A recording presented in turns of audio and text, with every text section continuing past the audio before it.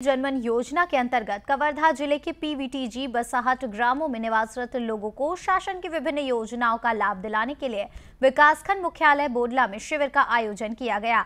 ज़िले के कलेक्टर जन्मेजय महोबे ने बताया कि इस आयोजन में प्रधानमंत्री नरेंद्र मोदी वर्चुअली जुड़े। उप मुख्यमंत्री विजय शर्मा ने केंद्रीय योजनाओं को शीघ्रता से पूरा करने के निर्देश दिए हैं। उन्होंने कहा है कि केंद्र सरकार की जनहितैषी योजनाओं से लोगों को जीवन में काफ़ी बदलाव आए हैं।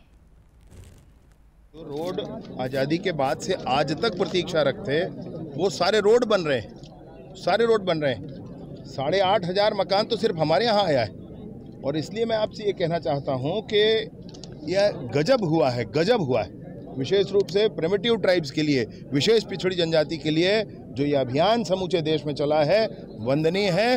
माननीय मोदी जी को बारंबार प्रणाम है, बारंबार अभिनंदन है।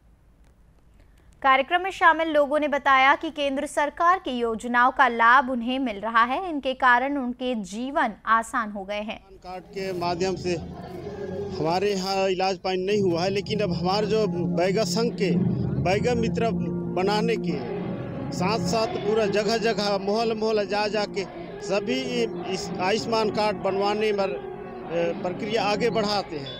तो जब तक के आयुष्मान कार्ड अगर बन के तय हो जाए तो सबके जिन इलाज पानी शुरुआत हो जाएगा। ये सरकार तो हमला बहुत अच्छा लग रहा है। पहले बीच में रही से तेन सरकार, हम थोड़ा बहुत घुमा रही से हुआ हुआ भटक रहे हैं। अभी भी अब सरकार है तो कुछ घरों घर में आवास बन गए और कुछ लाइट फाइट के व्यवस्था भी है।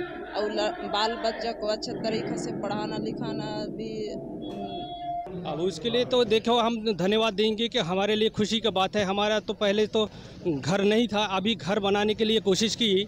और सभी व्यक्ति, विशेष पिछड़ी जनजाति की व्यवस्था की योजना बनाकर हमारे लिए रोड दिए, आवास दिए, देने का प्रावधान दिया आज के कार्यक्रम में उद्घाटन किया दो दो लाख का। मिलने का प्रावधान है, अच्छी से तरह से घर बनाएँगे ऐसे करके। मोदी जी के नेतृत्व में आज वही भाषण हम सुनने के लिए आए हैं, उसको हम बहुत बहुत धन्यवाद देते हैं। हम बहुत खुशी हैं विशेष पिछड़ी जनजाति का व्यक्ति, विशेष पिछड़ी जनजाति का समुदाय का व्यक्ति, हम सब खुशी हैं उसके बारे में। उल्लेखनीय है कि कबीरधाम ज़िले के इन दोनों विकासखंड के दो सौ छप्पन विशेष पिछड़ी जनजाति बैगा बाहुल ग्रामों को शामिल किया गया है, जिसमें बोडला विकासखंड के एक ग्राम और पनरिया विकासखंड के 77 ग्राम शामिल है।